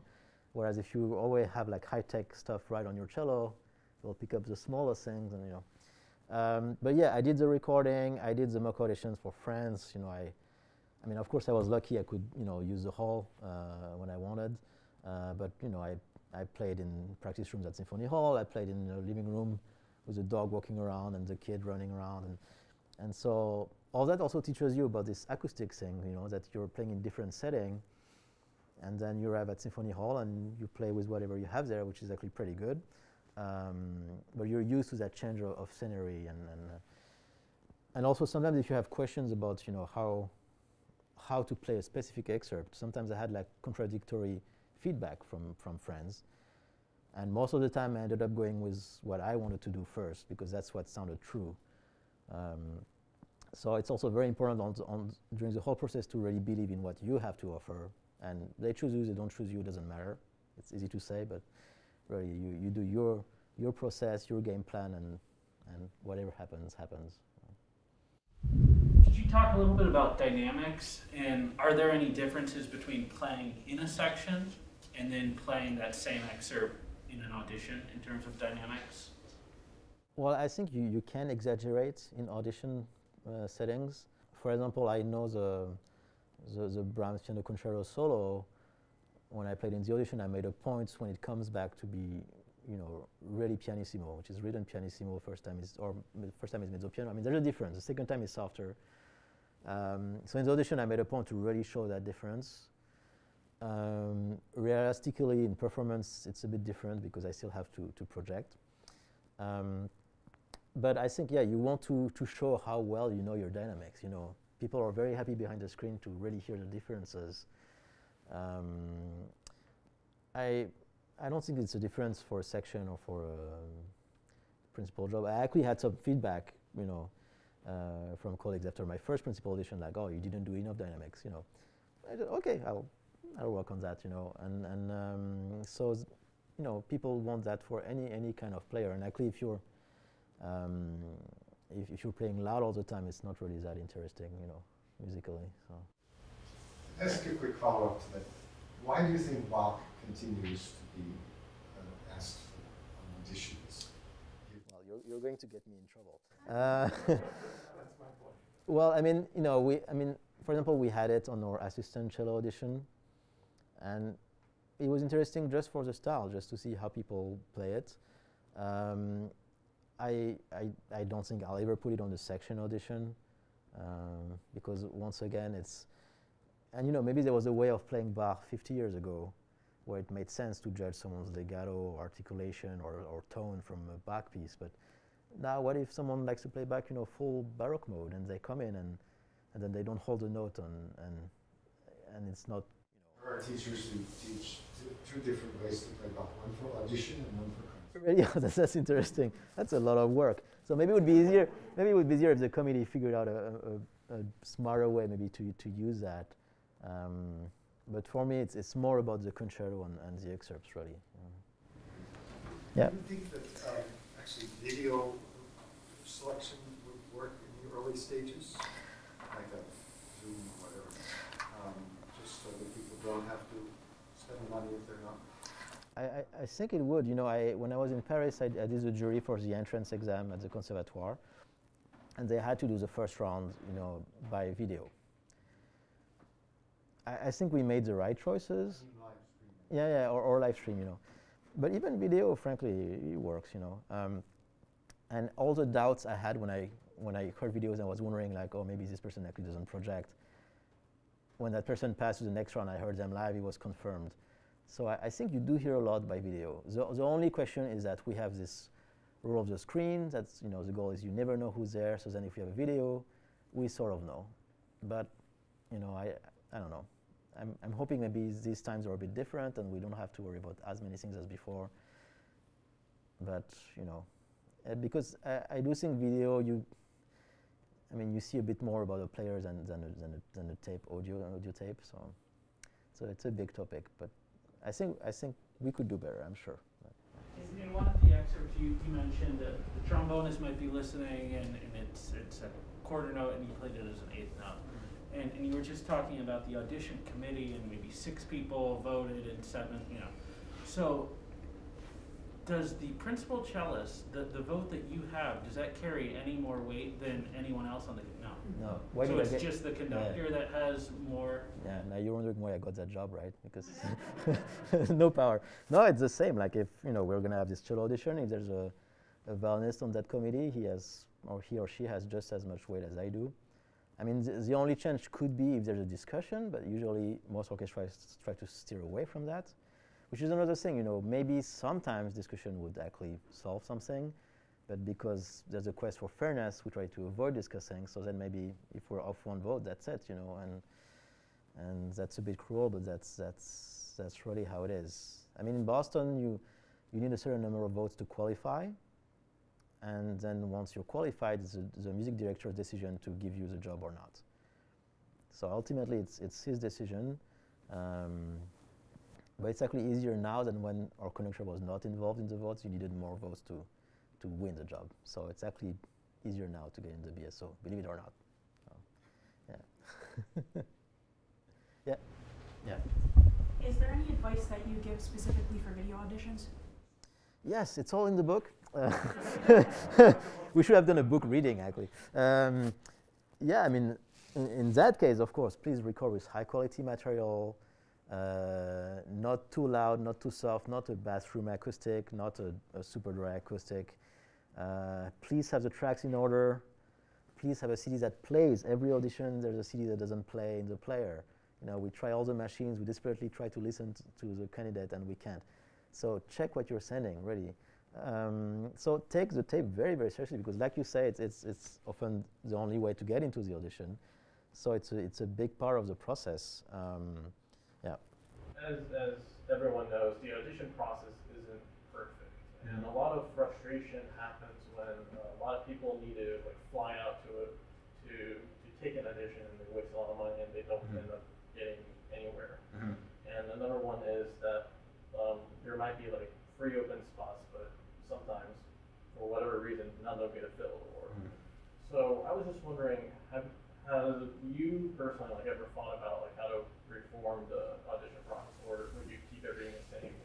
What are your thoughts? Well, I mean, I'm, I know it's a hot topic these days. Um, I, I'm sure there are ways to make it better. I would be all out for having more. I mean, I know we have the whole screen system, but having more video selection, uh, uh, because I agree. You know, most of the people who come for an audition are, are actually not going to get very far. Um, so I wish they didn't have to waste that money, you know, for the audition. Um, I mean, there, there are things with the process, of course, that could be better. Um, you always have very good people who get kicked out in the first round. You know, somehow they they don't they don't really stick out in that round. And but you know, things things happen. Usually, I, I think usually people find their way sooner or later. Uh, like, am I mad that I didn't get you know hired the first time in each audition? Really, no. Like, you know, I came again, and then then they they, they took me. So. Um, I do think we could have now with the, the technology now we could have easily more pre-selection ahead of time, spend more time with the really qualified candidates, um, uh, because that's often what happens and what's frustrating in audition is we have huge days. So the committee, you know, is finishing at 10 p.m. exhausted, you know, and, and our brains are not functioning right anymore, you know. So it's it's not fair either to the to the auditionees or to us, you know, to to be in that kind of state. I mean, the one thing I have been thinking though, when, when, when those debates come up about how to make the process better, is, is, is also being ready for the audition on the, on the auditionist side. So I think that's also the point of the book is, yeah, the, pr- the process is hard and it's maybe sometimes it seems unfair, but did you really prepare? You know, and I, I'm serious, you know, and I heard that a lot from my from my you know I was talking with Ed Barker once. He told he told that to me that he feels you know often people are so underprepared and and they're surprised they don't they don't you know go further in the audition, but like you know you're seeing the book. I talk about you know what you eat, if you exercise, you know you know you know if, if you get used to to playing like an audition even when it's at home. If you try try to get nervous at home so you can see if you can perform in that condition. I, I don't think uh, that many people are doing all that stuff. Um, I know I was not doing it when I was doing competitions, and I'm sure there were some kids doing it who did better than me.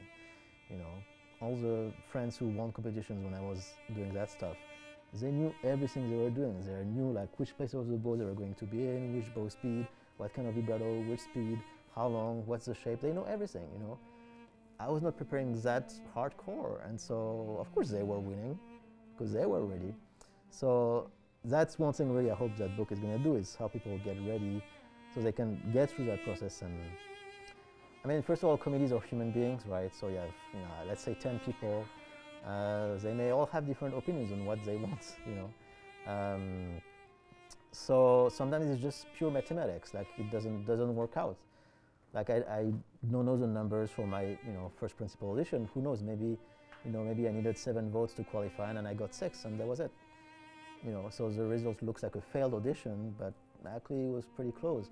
And I think that happens quite often. Um, and sometimes the qualities that get you to the last round, which usually are cleanliness, like good intonation, good rhythm, it's not enough to get the actual job. People want artists.